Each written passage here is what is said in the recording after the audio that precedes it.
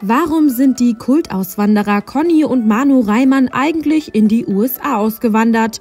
Diese Frage stellen sich viele Fans, die das Paar jetzt auf seinem YouTube-Kanal Reimanns Live beantwortet. Auch wenn die beiden schon lange Auswanderungspläne hegen, so gibt erst ein Freund der zwei, der selbst in Texas lebt, den finalen Anstoß, Deutschland zu verlassen. Dieser lädt den Handwerker und seine Ehefrau für ein langes Wochenende zu sich nach Texas ein.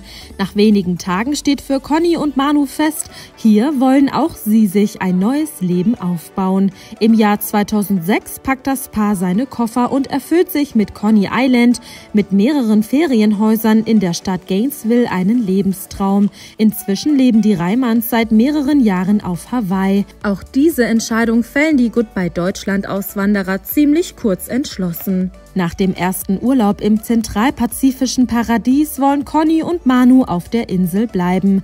Das Ganze ist mittlerweile vier Jahre her. Seitdem muss das Paar aufpassen, wo es Urlaub macht, witzeln die Auswanderer im Interview.